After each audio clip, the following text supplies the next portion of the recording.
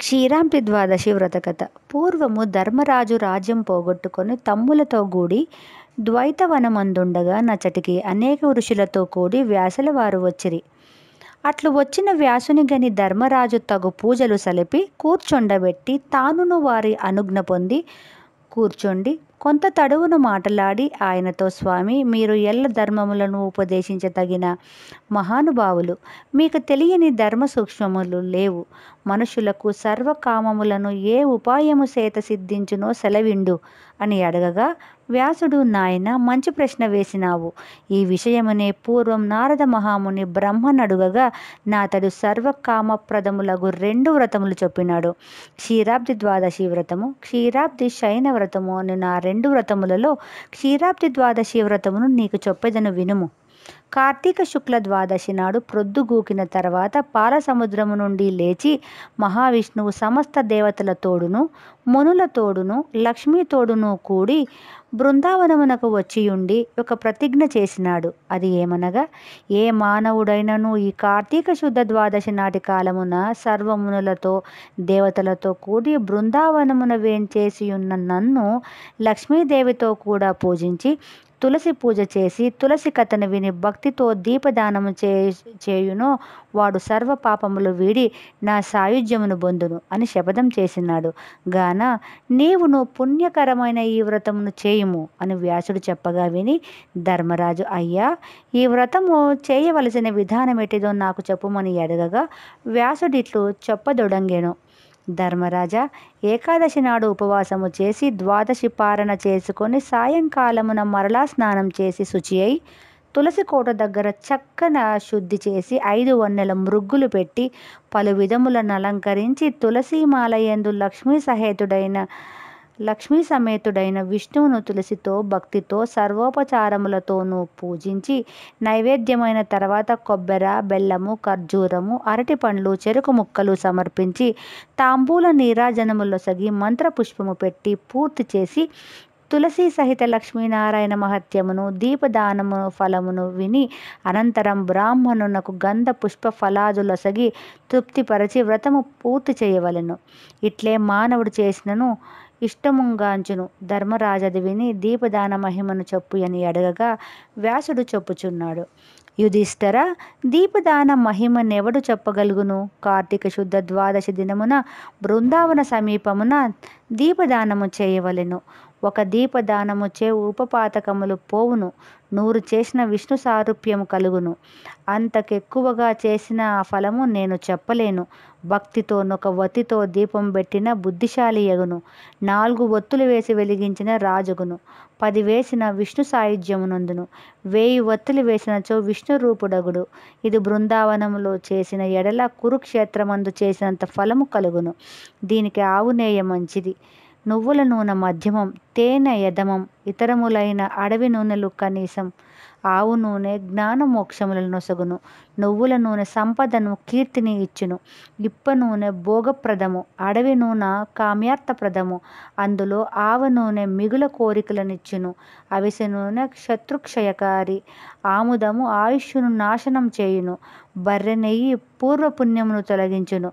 వీనిలో కొంచెమైన ఆవు నెయ్యి కలిపిన దోష పరిహారమగును ఈ దీపదానములు వలననే ఇంద్రాదులకు వారి వారి పదవులు దొరికినవి. దీని వలన అనేక మహిమలు కలుగును.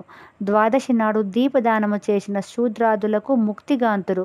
బృందావనం మందొక మండపము గట్టి వరుసగా దీప పంక్తులు పెట్టి ఉన్న నెవడు చూచి ఆనందపడునో వాని పాపములన్నీ నశించును.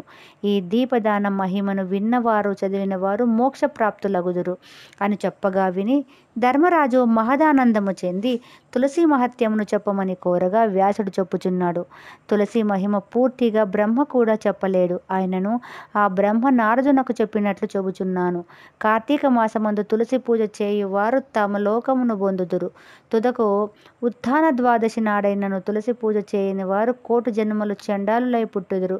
తులసి మొక్క వేసి పెంచిన వారు దానికి ఎన్ని ఏళ్ళు పారునో అన్ని మహాయుగములు విష్ణులోకమందుందురు తులసి దళములు కలిసిన నీట స్నా వాడు పాపము వదిలి వైకుంఠమును పోవుదురు. బృందావనము వేసిన వారు బ్రహ్మత్వము పొందుదురు.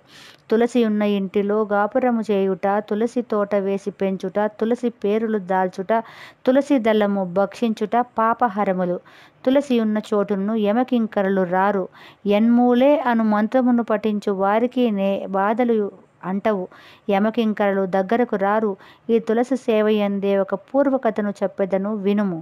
కాశ్మీర దేశవాసులకు హరిమేధ సుమేధులను నిద్దరు బ్రాహ్మణులు తీర్థయాత్ర చేయుచుండి ఒక స్థలములో ఒక తులసి కోటను చూచిరి. చూచిన తోడనే వారిలో సుమేధుడు భక్తితో ప్రదక్షిణ నమస్కారాలు చేసెను. అది చూచి హరిమేధుడిది ఏమని అడిగెను? సుమేధుడు ఇక్కడ నిండ బాధగానున్నదని ఒక మర్రి చెట్టు ఎండకు చేరి తులసి కథనిట్లు చెప్పు తొడంగెను. పూర్వము దేవాసురులు సముద్రము చిదికినప్పుడు దాని ఎందు ఐరావతము కల్పవృక్షము మొదలుగా దే నిన్నయో ఉత్తమ వస్తువులు పుట్టెను. తర్వాత లక్ష్మీదేవి పుట్టెను. తర్వాత అమృత కలశం పట్టు పుట్టెను. ఆ అమృత కలశమును చేతబూని మహానందము నుండి విష్ణువు ఆ కలశముపై ఆనంద బాష్పములు విడవగా నందు ఈ తులసి పుట్టినది. ఇట్లు పుట్టిన తులసిని లక్ష్మిని వివ విష్ణువు పరిగ్రహించెను. ఇట్లు పరిగ్రహించి వేడుకతో తులసిని తొడ మీద నుంచుకొని నీవు లోకముల పావనం చేయగలదానవని అని ప్రేమ మీద బలికెను. అందువలన నారాయణకు తులసి ఎందు ఎక్కువ ప్రీతి కలిగి ఉండును. అందువలన నేను తులసిని మ్రొక్కినాను అని ఆ బ్రాహ్మణుడు పలుకుచుండగానే ఆ మర్రి పెళ్ళుమని విరిగి కూలెను ఆ చెట్టు తొర్రలో నుండి ఇద్దరు పురుషులు వెలుపలికి వచ్చి దివ్య తేజముతో నిలిచియుండగా హరిమేధ సుమేధలు చూచి దివ్యమంగళ విగ్రహదారులైన మీ ఇరువురు ఎవరని అడిగిరి.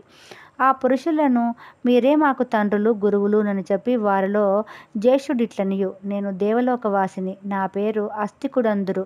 నేను ఒకనాడు అప్సరసలతో కూడి నందనవనమున గామ విహారము చే మైమరచి క్రీడించుచుండగా మేము ధరించిన పుష్పమాలికలు పైనబడి మా సందడి వలన సమాధి చలించి ఇచ్చట తపస్సు చేయుచున్న రోమ మహాముని రోమశ మహాముని నన్ను చూచి నీవు మదోన్మత్తుడవై ఇట్లు నా కలజడి కలిగించితివి. కావున బ్రహ్మ రాక్షసుడు వగమని శపించి తప్పిదము పురుషునది కానీ స్త్రీలు పరతంత్రులు గనుక వారి వలన తప్పు లేదని వారిని క్షమించి విడిచెను.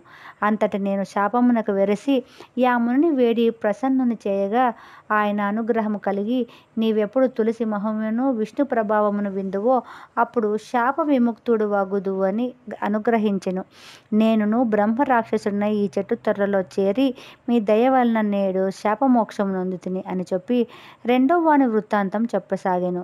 ఈయన పూర్వం ఒక మునికుమారుడుగా నుండి గురుకుల వాసము చేయుచుండి ఒక అపరాధము వలన బ్రహ్మరాశత్వమును అగుమని గురువు వలన శాపం పొంది ఇట్లు నాతో కలిసి ఉండెను మేమిద్దరమును మీ దయ వలన పవిత్రులమైతిమి. ఇట్లు మమ్మను గ్రహించారు కాన మీ తీర్థయాత్ర ఫలము సిద్ధించినది అని చెప్పి వారిరువురు వారి త్రోవలో బోవగానే బ్రాహ్మణులిద్దరూ ఆశ్చర్యానందముతో మునిగి తులసి మహమ్మను బొగుడుచు యాత్ర ముగించుకొని ఇళ్ళకేగిరి. ఈ కథను ఎవరు విన్నను వారు సర్వ పాపములు వదిలి ఉత్తమ గతిని చెందుదురని బ్రహ్మ నారదునకు చెప్పెను.